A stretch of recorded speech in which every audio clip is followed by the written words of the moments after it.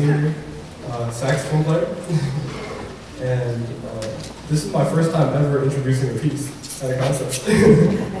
and before I say the piece I'm introducing, um, I'd like to say how much of an honor it is to have been a part of this jam band for so long. Uh, I joined in the sixth grade and I've grown some of my fondest memories as a part of this ensemble.